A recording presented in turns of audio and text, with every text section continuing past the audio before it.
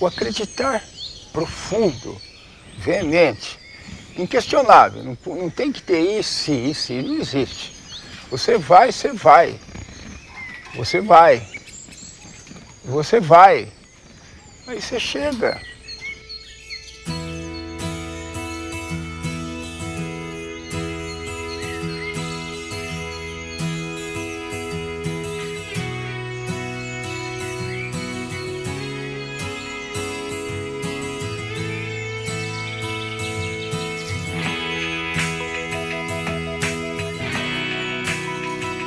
Então a vitória, ela não é a vitória, ela é a decorrência natural de uma ação veemente, integrada de alma e coração, sem raciocínio, porque o que atrapalha o homem é simplesmente a tal da inteligência. Então é muito burro quem acha que é inteligente. Porque se você deixar de ser inteligente, você tem a vida plena, você nunca vai ter doença, porque a doença não existe. E você vai ser feliz.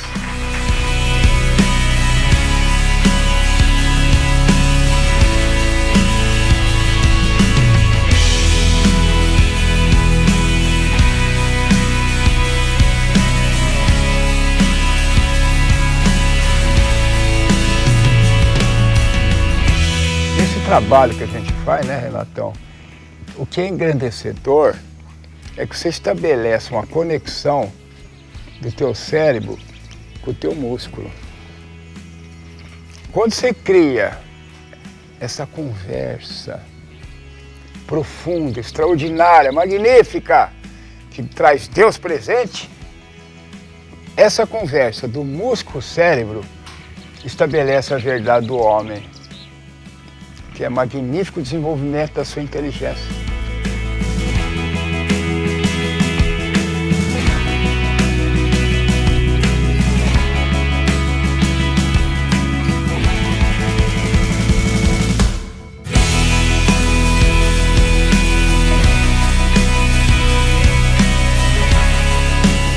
Em 2009 eu li o seu livro É. e comecei a correr e isso foi mudando meu modo de pensar. Aí eu dei pro meu pai, pro minha mãe. Minha mãe tinha 70 anos, meu pai tinha 75.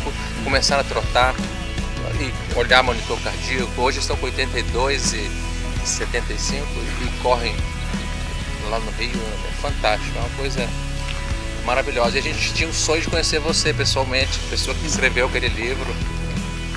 E bacana estar aqui hoje. Mas que bonito, o livro então ajudou você. Muito.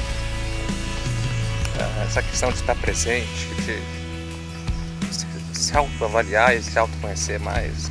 O, o poder da oitava eu nunca consegui fazer, mas é, eu cheguei lá, mudei muita coisa. Mas é bonita essa transformação É. que você tem da tua essência por um crescimento do teu corpo. É, A vitória de você sobre você. é isso mesmo. Eu fico É. muito emocionado de saber que uma pessoa se transformou lendo o livro. É emocionante. Ah, que, Eu- que bonito. É muito bacana mesmo.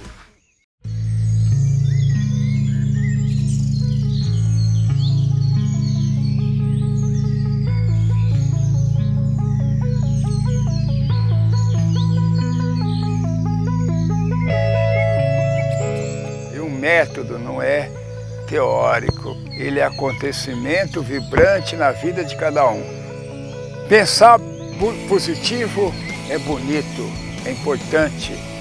Dar comandos é fantástico, mas só o fazer estabelece a verdade. A verdade poderosa de Deus que fez você.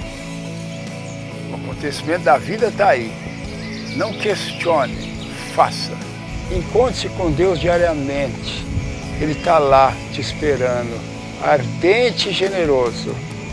Contemple-o nos cuidados que você tem com o teu corpo, nas benesses que Ele te deu, fazendo com que a vida seja plena, fantástica e poderosa.